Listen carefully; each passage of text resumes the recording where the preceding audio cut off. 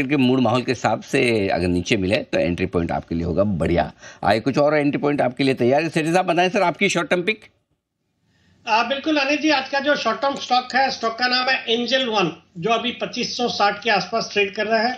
2650 के short term target है 2520 का स्टॉप लॉस रखना है। ये मार्केट इंफ्रास्ट्रक्चर वाली कंपनी है stock broking commodities currencies equities सब करती है। बाकी बहुत ही दमदार फंडामेंटल्स है और वैल्यूएशन के लिहाज से अपने पीयर्स के कंपैरिजन में सस्ता है। और 15 परसेंट का इनका मार्केट शेयर है ओवरऑल डीमैट अकाउंट्स जो भारत में खुले हैं, उसमें और प्लस एनएससी के भी जो एक्टिव क्लाइंट लिस्ट है, उसमें भी 15 परसेंट से ज़्यादा का मार्केट शेयर है इनका। तो एक अच्छी कंपनी और अपने हाइट से अच्छा खासा करेक्टेड है वैल्यूएशन अच्छे लग रहे हैं, मुझे लगता है इन लेवल्स पे खरीदना चाहिए। शॉर्ट टर्म टारगेट है छब्बीस सौ पचास स्टॉप लॉस पच्चीस सौ बीस।